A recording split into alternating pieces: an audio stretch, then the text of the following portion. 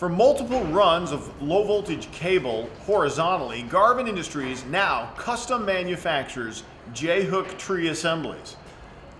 These J-hooks are made from heavy duty steel and can be mounted back to back on a bracket or just one side if it's horizontal along a wall.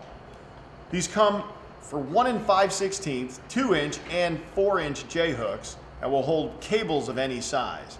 They can be top mounted with an angle bracket or surface mounted on a wall by modifying the angle bracket straight.